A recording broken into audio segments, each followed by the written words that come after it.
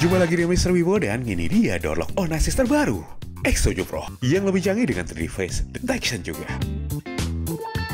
Seperti biasa, produk-produk Onassis mempesona. Dua dekade fokus di keamanan pintu dan berani memberikan garansi lifetime untuk mekanik locknya juga. Jadi langsung saja, let's go!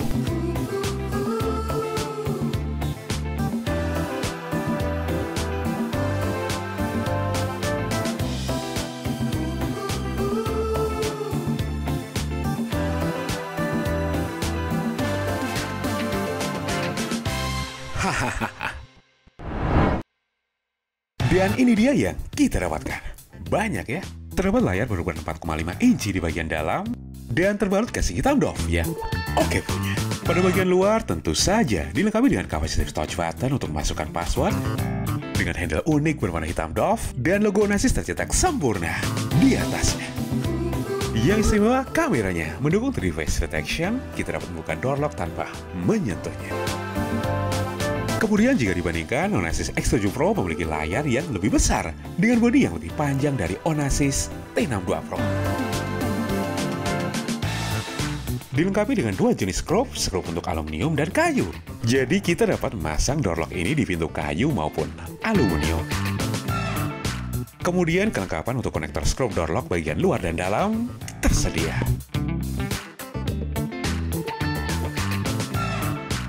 Dan tentu saja kita harus memotongnya untuk menyesuaikan ketebalan daun pintu yang kita gunakan.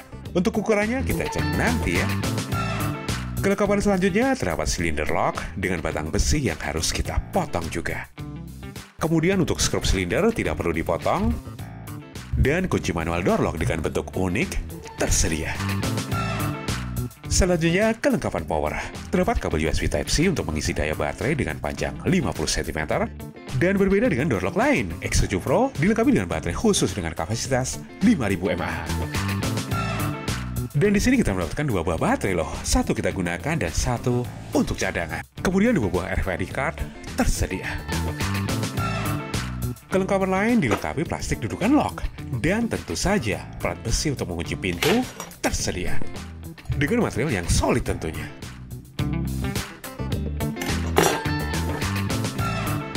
Modis kuncinya menggunakan tipe 5060 yang sama persis seperti modis kunci Onassis T62 Pro dengan material yang mempesona tentunya. Kelengkapan lain terdapat kartu garansi dan buku manual cara penggunaan Onassis X7 Pro. Dan ini dia template ukuran untuk Mortis X7 Pro yang sangat mirip dengan Onassis T62 Pro. Sebelum lanjut, berikut ini spesifikasi dan harga dari door lock Onassis X7 Pro. Terlihat jika ketebalan minimum untuk instalasi door lock X7 Pro adalah 5 cm. Namun di sini kita akan bereksperimen ya untuk memasangnya di pintu dengan tebal 3 cm. Dan tentu saja, jika tidak mau ribet, kita bisa menggunakan jasa pasang Onassis dengan biaya hanya 300 ribuan saja loh. Kemudian fingerprint tentu ada, namun di X7 Pro tersembunyi ya, dan akan menyala saat kita gunakan, seperti ini. Kelebihan lain Onassis X7 Pro sudah menggunakan bahasa Indonesia loh, dan dilengkapi motor untuk membuka dan mengunci pintu secara otomatis. Dan ternyata lubang kunci fisik dan port Type-C untuk power cadangan dari powerbank tersembunyi pada handle depan door lock ini. Jadi jika baterai habis, kita masih dapat membuka pintu dengan kunci fisik maupun powerbank untuk membukanya. Kemudian untuk tempat baterainya tersembunyi ya di bawah layar door lock bagian belakang.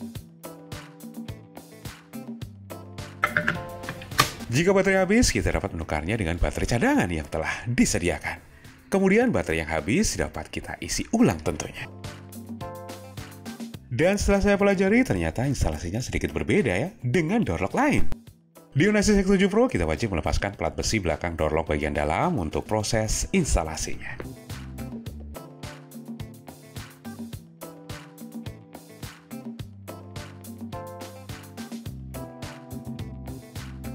Terlihat konektor kunci deadlock di bawah dan juga port koneksi power dan data door lock tersedia. Sekarang kita coba koneksikan kabel door lock bagian luar dan bagian dalam. Dan tentu saja kita sesuaikan konektornya, 4 pin ke 4 pin juga tentunya. Setelah kabel terhubung, kita dapat melihat tangkapan kamera door lock seperti ini ya. Lalu bagaimana jika kita pasang door lock dengan minimal tebal pintu 4 cm ini ke pintu dengan tebal 3 cm? Setelah saya pelajari untuk pintu tebal 3 cm, kita harus memotong balok besi ini sepanjang 3 cm. Kemudian untuk kedua konektor screw door lock, kita potong masing-masing setengah cm. Dan untuk konektor deadlock pada bagian bawah door lock dalam, kita sisakan 3 bar saja ya. Kemudian kedua skrup konektor door lock untuk pintu dengan tebal 3 cm, kita potong habis agar menyisakan 2,5 cm saja. Dan konektor silinder kita potong habis agar menyisakan 2,5 cm juga. Kita pastikan terlebih dahulu arah lidah kunci menghadap ke kusen pintu sebelum memasangnya. Dan untuk membalik lidah kunci, caranya masih sama dengan dorok lain. Seperti ini. Beruntung lubang dudukan pintu sama persis dengan T62 Pro. Jadi di sini kita tinggal pasang saja tanpa merubah apa pun pada pintu ini. Kemudian karena pintu kayu, kita gunakan skrup kayu tentunya.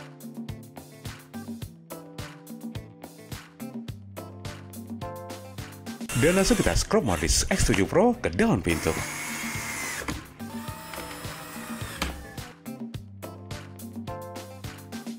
Selanjutnya silinder locknya ya, kita masukkan dan pastikan lubang kunci menghadap ke bagian pintu luar. Dan kita kunci silinder dengan skrup silinder yang telah tersedia.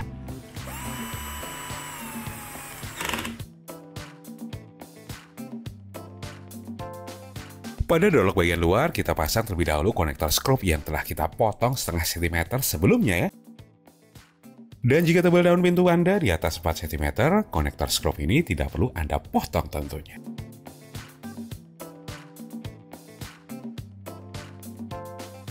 Kemudian kita pasang door lock bagian luar dan terlebih dahulu kita masukkan konektor kabel melalui lubang yang telah kita buat sebelumnya. Selanjutnya kita pasang plat besi yang telah kita lepas dari door lock bagian dalam. Dan pastikan posisinya seperti ini ya. Lanjut kita skrup dengan skrup koneksi yang telah kita potong dan sisakan hanya 2,5 cm saja. Tentu saja di sini untuk daun pintu dengan tebal 3 cm. Jika lebih, sesuaikan pemotongan skrup dengan tebal pintu Anda. Dan agar lebih kuat, kita pasang ringnya juga. Iya, 2,5 cm skrup untuk pintu dengan tebal 3 cm terbukti pas kan? Dan sesuai dengan perhitungan saya tentunya. Lanjut kita koneksikan kabel door lock bagian luar ke bagian dalam. Kemudian kita pasang door lock bagian dalam dengan menyesuaikan konektor deadlock, konektor kunci, dan juga konektor batang besi. Jika sudah, kita scrub bagian atas dua scrub dan satu scrub di bagian bawah.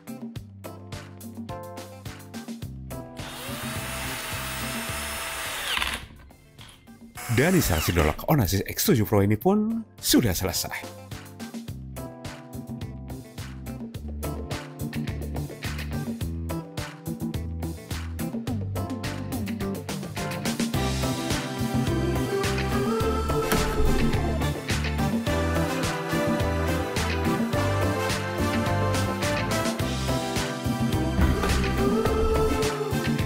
Dan eksperimen menginstal Dorlock X7 Pro di pintu dengan tebal 3 cm pun berhasil ya.